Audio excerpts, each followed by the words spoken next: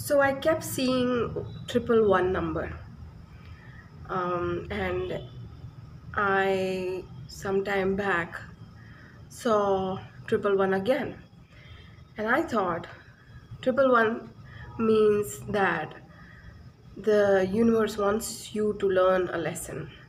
You know, it's trying to tell you something. There is something that you haven't learned yet, and it wants you to know more. It wants you to introspect more.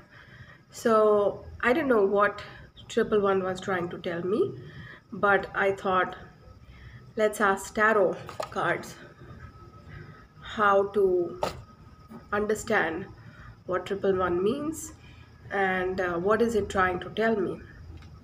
And um, i pulled three cards here. And the first card is Knight of Swords. And um, I haven't checked because I'm new to tarot, so I haven't checked what my intuition is trying to tell me in the book, in the booklet. I just want to look at this picture. And uh, Knight of Swords is uh, uh, knights are usually um, men under men or women under 30, fairly young and he's riding on the horse and he has a sword in his hand and he's like really rushing uh, and it's in broad daylight mm, and it it it tells me you know it, this triple one is my learning. It's my introspection. It's my lesson so if I introspect and if I look and see what this card is trying to tell me, is that um, I've been going fast, I've been doing a lot of things, I'm moving along in the right direction, um, and uh, I'm moving on with a good speed, you know. So so messengers usually, you know, Knight of Swords or any kind of knights are mostly messengers, and um, they are uh, ambitious uh, people. You know, like usually people under thirty are ambitious. You know, they have some dreams, they have some goals, and when it comes to Knight of Swords, I know that. Um, that they are onto something you know they're pursuing something. They want to get to their goals which is my case too you know i have goals and i'm working really hard working in that direction. So this is the first card is a past card okay? So what it's telling me is that in the past you have worked very hard and you're very ambitious and you're working towards your goals and you're moving very fast and you're focused you know um, and stuff like that the second card I have got is Five of Cups. And uh, in this card, you can see somebody has three cups that have fallen empty and two cups that are behind him. And he is sad that these three cups are empty, but there are two cups behind him, you know, that are ready for him. So he's not paying attention to the two cups behind him he's paying attention to the three cups that are in front of him. And he's standing by the river. The river is flowing. It's broad daylight you know. Things are good. So um, if i and this is a present card you know the second card is a present card. So if i have to think about in my current scenario uh, i do focus on what i don't have instead of being grateful most of the times you know 20 30 50% of the times i am grateful. But there are times when i'm focusing on what i don't have. And uh, and this is what it's telling me that you know instead of focusing on what you don't have why don't you focus on what you do have you know? And uh, be more joyful you know like I want to be, like it's a desire in me to be very joyful, energetic, enthusiastic, and happy. But if I if I scan my internal system, I feel like I'm not there yet.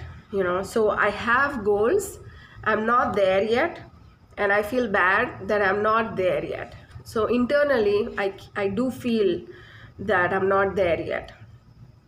And um, and then the third card is the future card and the future is four of cups. And um, in this card we can see that there is a there is a man who is uh, feeling again low. Uh, he's not seeing the three cups in front of him. Uh, even though he has the three cups in front of him even though he has somebody you know uh, like a cloud or something he, he's he's being given this this cup and he should be happy about it you know technically. But even when he has everything he's looking down he's not happy. Which could be my case too you know that i have everything that i have asked for. I'm in a much better place uh, you know financially uh, personally. But still internally if i scan my system uh, i do feel low and i do feel like i'm not there yet okay? So this is kind of a sad card card and I don't want to end my reading with this sad card. So I'm going to pull the next card that I get. And and the next card the fourth card is an emperor. And uh, the emperor card is uh, a major arcana card that they say in tarot. And if you look at this emperor card um, you can see a you know nice old man um, with uh, something in his hand which is like gold. And he has his weapon in his hand. He is in a in a top position you know. And he is in you know as good as it can get position. And um,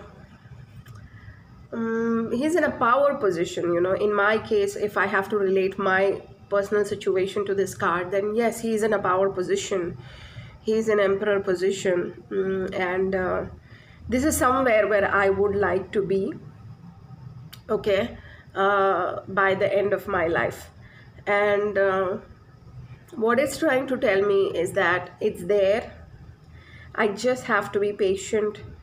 I just have to uh, be stick in there, you know, be patient, stick in there. It's coming, um, and uh, everything is good, and there is nothing that I need to worry about because I have everything that I need. Life is going as per my uh, goals, you know, whatever my goals are, I'm working towards them. It's happening, and eventually I will be there.